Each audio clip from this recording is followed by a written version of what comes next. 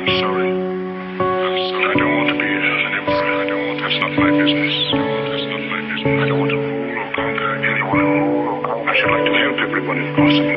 Jew, Gentile, black man, white. We all want to help one another. We all want to be Human beings want to live by each other's happiness, not by each other's misery.